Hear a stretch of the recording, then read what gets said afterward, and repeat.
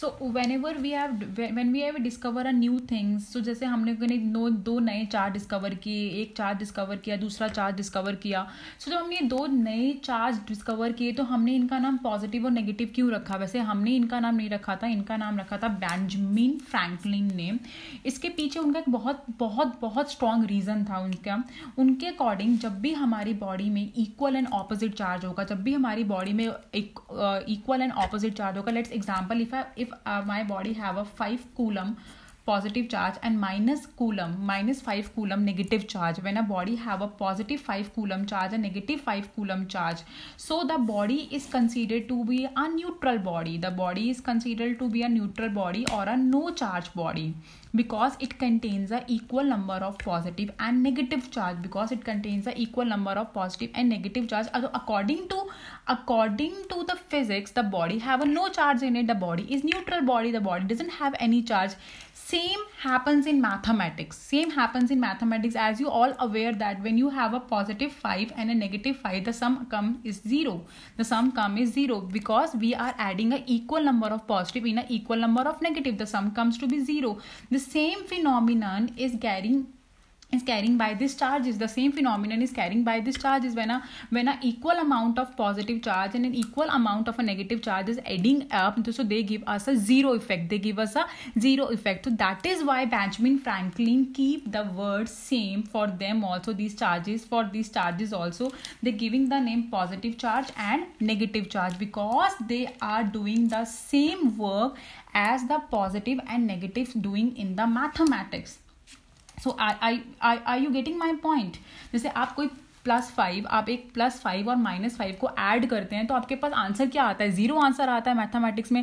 वैसे ही है, जैसे आप फिजिक्स में आप किसी इक्वल नंबर ऑफ़ पॉजिटिव और equal number of negative charge को ऐड करेंगे तो आपके पास क्या बनेगी? एक न्यूट्रल बॉडी बनेगी। तो वहाँ पे आपके पास कोई चार्ज नहीं है। तो इसी वजह से ब्रांचमिन फ्रैंकलिन ने क्या किया, जो ये दो नए चार्जेस मिले थे, इनको कोई नया नाम देने के बजाय इन्होंने क्या दिया? इसको एक नाम दिया पॉजिटिव चार्ज और नेगेटिव चार्ज क्या नाम दे दिया इन्होंने इसको? पॉजिटिव चार्ज और negative charge because because these positive charge or negative charge is same behaving like a positive and negative in mathematics. Same behaving like a positive and negative in mathematics. If you have any any doubt in this concept please contact me personally. I will definitely guide you more about this. Okay so class so अभी हम लोगों को types of charges से हम लोग aware हो गए हैं, ठीक है? हमें पता लग चुका है, हमारे पास दो दो तरह की बॉडीज होती हैं। इधर they have a positive charge इधर they have a negative charge and yes when we have a one more body that is called the neutral body which contains the equal number of positive and equal number of negative charge so class there is a one more term that is called the polarity polarity polarity polarity और अगर कभी भी word आपको सुनने को मिलेगी, कहीं आपके पास कहीं बुक्स में वर्ड यूज़ किया होता है पोलैरिटी और kind either they have used the word polarity or kind. So these mean this means they are asking about the types of charges. They are asking about the types of charges. So अभी आपको बहुत कम books में types देखने को मिलेगा। आपको बहुत ज़्यादा बुक्स में क्या देखने को मिलेगा? इधर they are using the word polarity और they are using the word kind ठीक है? So now how we are measuring these charges? How we are measuring these charges? So we have a we have a two units for measuring the charge. One is our SI unit. SI unit in SI unit we are measuring the charges as a coulomb. We are measuring the charges as a coulomb and denoted by a small c. And we are denoting that coulomb with a small c. And in the CGS system in a CGS system we are measuring the charges with the stat coulomb stat coulomb and we symbolize it as a STAT hyphen C. So we have a two units the two units of uh, two unit of charges. One is the SI unit and the second is the CGS unit.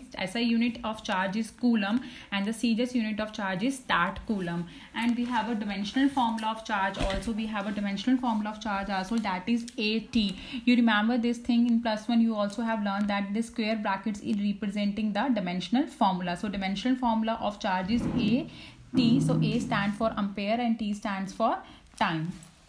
So now we are going to discuss briefly discussing about the properties of electric charges. So now we are going to briefly talk about the properties of electric charges